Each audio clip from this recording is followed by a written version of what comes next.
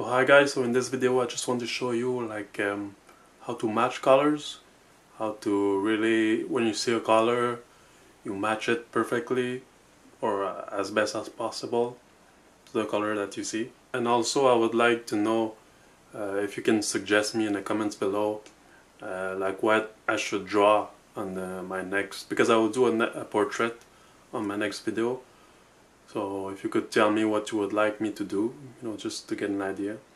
If I have no nobody tells me anything, I'll I'll find something. So so to show you this, I have a magazine here, and uh, here uh, I just picked it randomly. So I have a color here. So it's a little bit like a skin color or you know any kind of color you can use. So this is just an example to show you. So I'm just gonna pick this one and. Um, I'm gonna try to match this color with my pencil. So I have here the, um, the magazine. So I picked this color because it's on the edge of the page, so it's easier to um, to compare the color. So right now I picked a few colors that I think are the closest to this. That's what you, you have to do when you start. You just pick some colors that you think they are the closest possible to this.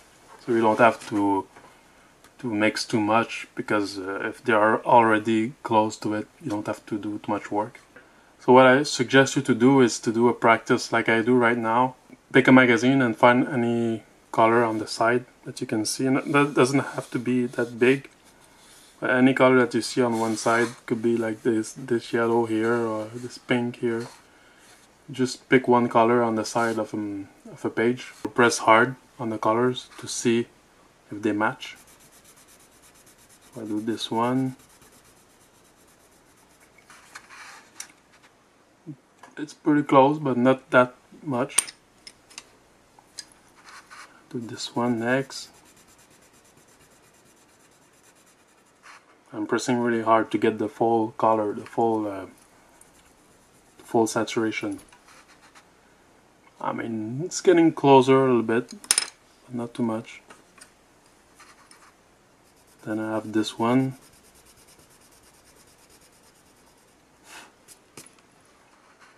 And this one is much closer you see? It's uh, it's getting closer to the, the original color. I'm gonna try this one which is a little bit of lighter version of this one.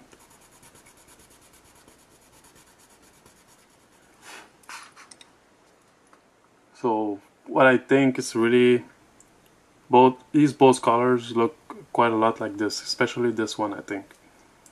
So what I do, uh, I picked one, uh, I'll pick this one, so I will start with this and I probably will mix it after with this one and maybe other ones I will see after. So I picked this one to start, so what I do, I'll do a big patch here to um, so you can see here. So I'm gonna, I'm not gonna press totally really hard but uh, because I'm gonna mix it. Because I'm never sure at the beginning if, if it's gonna be the final one. Because there's always uh, modifications to do so I don't like to press hard at the beginning. I'm gonna do it a little bit bigger.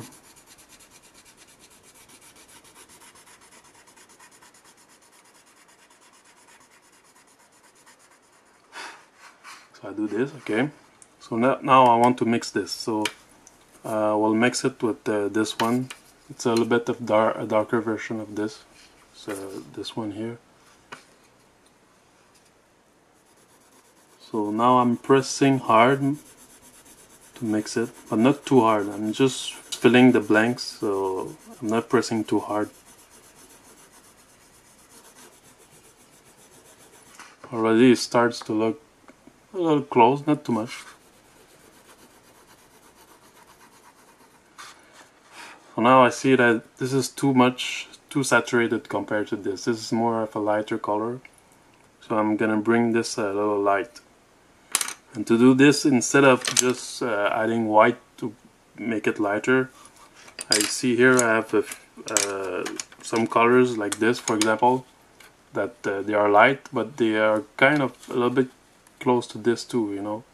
They're not as close, but there's a there's it seems that it's a, it's a better fit to make uh, this light lighter instead of using white.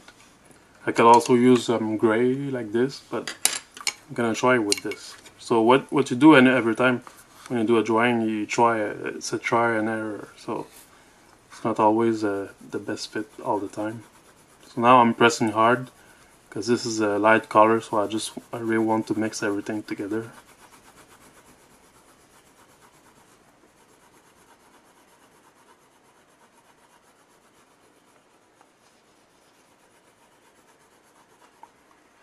Already it's pretty close.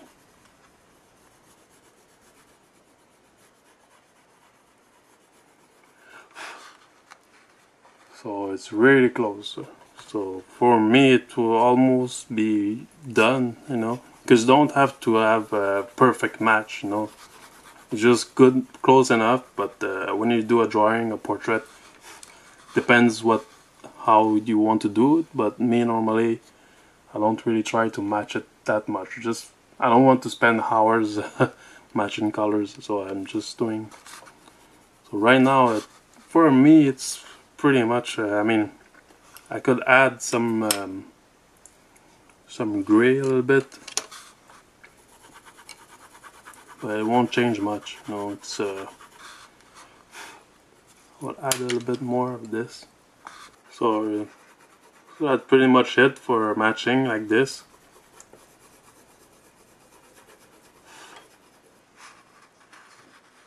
So yeah. So I suggest that you practice like this.